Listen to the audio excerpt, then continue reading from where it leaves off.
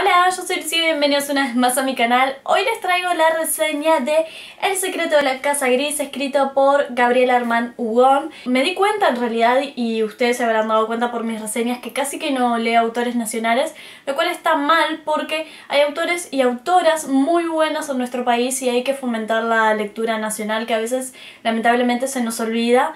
Eh, miramos mucho para afuera y nos olvidamos de mirar acá adentro, así que sí, hay que leer más nacional.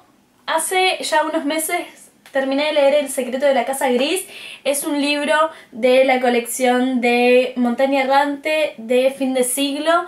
La verdad es que no suelo leer libros tan infantiles. Este es un libro bastante infantil como para 10, 12 años más o menos, capaz que incluso menos. Y lo disfruté muchísimo. Fue una historia que me gustó bastante, así que hoy quiero contarles de qué trata esta historia y qué impresiones me dejó a mí de 24 años haber leído algo pensado y dedicado y no sé, como proyectado hacia un público mucho menor que yo. Entonces sí, quiero contarles qué, qué me pareció este libro. Em, el secreto de la casa gris nos cuenta la historia de Micaela, que es una niña que tiene 10 años, así que calculo que está como en cuarto o quinto del liceo más o menos.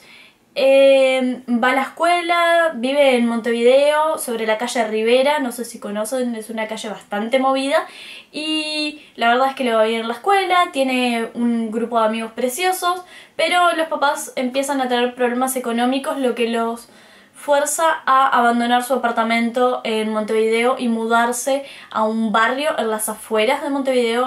Entonces pasan de un ambiente súper ciudad a algo más pueblo, más campo, más verde y desolado todo.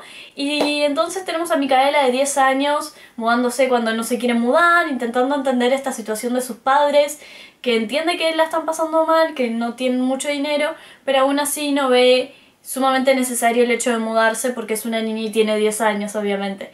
Entonces, Micaela empieza en una nueva escuela, no conoce a nadie, la gente no le habla mucho y lo que tiene esta protagonista es que es súper curiosa. Y creo que es lo que hace que el libro sea tan entretenido porque ella un día va caminando por la calle y ve una casa toda destartalada, toda gris, misteriosa, con las ventanas y las puertas bastante tapiadas y da bastante miedo. Y no sé, le parece sospechoso y empieza a ver que todo el mundo cuando pasa por enfrente de esa casa cruza la calle a la vereda de enfrente y después de que pasa esa calle sí vuelve a la calle anterior. Es como que, no sé, da un aspecto raro y misterioso y así es como empieza la historia. Micaela va a querer descubrir quién vive en esa casa, por qué está así, si es que vive alguien. Luego descubre quién vive ahí y se empieza como, no sé, la aventura de, de intentar entender por qué la gente llega a vivir de esa forma. No quiero adentrarme mucho en la trama porque es un libro súper finito, pero sí, es un libro como de misterio, pero pese a todo el misterio y todo, como la trama principal, hay una cosa que es súper importante y que creo que Gabriela acertó al 100% en hacerlo en este libro. Es un libro pensado para niños, entonces queremos educar a los niños en la literatura, en la escuela, en casa obviamente. Queremos que los niños aprendan valores positivos. ¿Y qué valor más positivo que el de generar empatía con el otro, del de ser amable con el otro y sobre todo de no guiarse por las apariencias, de no prejuzgar a la gente sin conocerla, sin conocer su historia? Y en este libro se habla de eso, se habla de no juzgar a la gente y creo que es un valor súper positivo y la verdad, Gabriela, felicitaciones porque este libro es precioso, me gustó muchísimo. Habla de la amistad, de la familia, de la importancia de, decir la verdad. Y no sé, creo que está cargado de, de valores muy positivos que refuerzan, que, que hacen que los niños puedan reforzar su, su forma de, de, pensar y de ser y de actuar. Entonces la verdad es que es un libro que me llegó muchísimo. Eh, pese a la trama y que es un libro para niños, creo que está muy bien escrito, que está muy bien pensado, la historia es entretenida, se lee súper rápido. Además, ya les digo, es un libro para niños.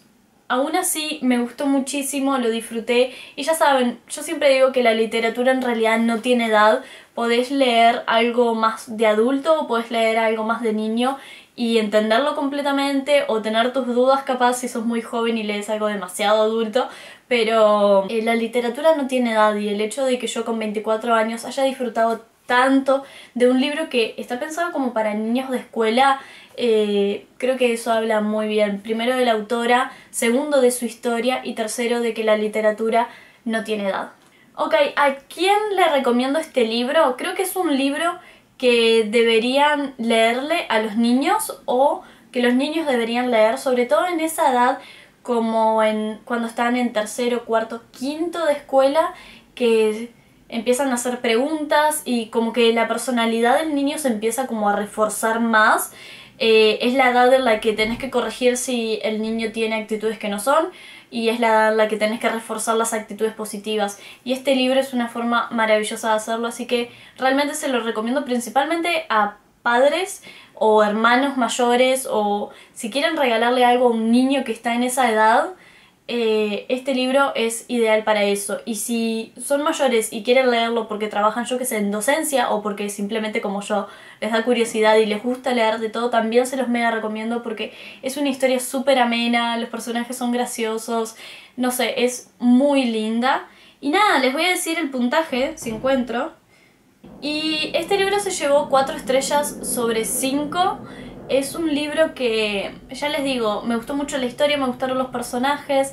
Eh, está escrito de forma sencilla para que los niños obviamente puedan entenderlo sin ninguna dificultad. Y nada, y si quieren regalar algo ahora que se viene Navidad, es literatura nacional, es un libro finito, o sea, es un regalo seguro y estoy 100% segura de que a los niños les va a gustar.